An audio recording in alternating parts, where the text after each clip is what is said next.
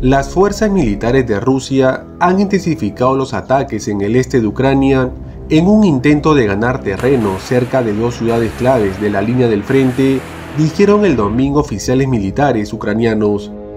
Las fuerzas rusas han iniciado una ofensiva para recuperar territorio cerca de Bakhmut, la ciudad minera del este que fue escenario de la batalla más sangrienta de la guerra antes de caer en manos rusas en mayo escribió el jefe de las fuerzas terrestres de Ucrania en la aplicación de mensajería Telegram. Las tropas ucranianas habían reconquistado las alturas sobre Bakhmut y realizado algunos avances al oeste, norte y sur de la ciudad desde que Kiev lanzara su contraofensiva de verano. Hacia Bakhmut, los rusos se han vuelto más activos e intentan recuperar posiciones perdidas anteriormente. Los ataques enemigos están siendo repelidos escribió el coronel general Alexander Sirsky en una actualización de Telegram el domingo por la tarde.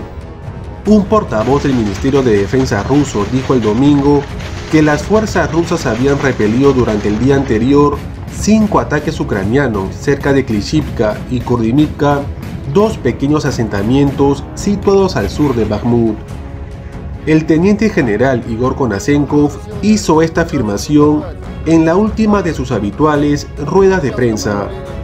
La tan esperada contraofensiva ucraniana se ha saldado hasta ahora con escasos avances y grandes pérdidas militares y las tropas ucranianas luchan por perforar las líneas rusas en el sur.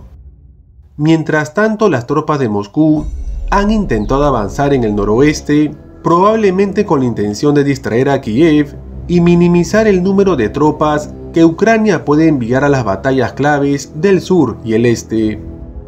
El Estado Mayor ucraniano declaró que las tropas rusas proseguían su ofensiva de varias semanas para acercar a Abdivka, bastión ucraniano al sur de Bakhmut y objetivo clave desde el comienzo de la guerra. Se considera la puerta de entrada a partes de la región oriental de Donetsk bajo el control de Kiev. El Estado Mayor declaró que la Fuerza Aérea Rusa estaba desempeñando un papel clave en el último asalto. El general Alexander Tornavsky, que dirige las tropas ucranianas que combaten en Abditka y sus alrededores, dijo el domingo que las fuerzas rusas atacantes estaban intensificando los ataques aéreos, en particular lo que utilizan bombas guiadas.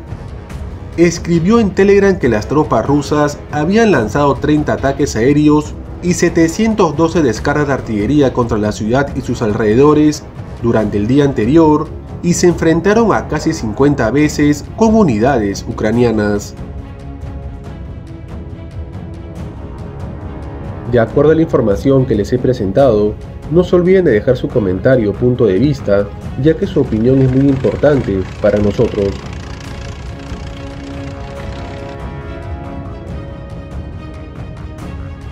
No te olvides de suscribirte al canal y muy importante, activar la campana de notificaciones para que se te notifique cuando publiquemos un nuevo video.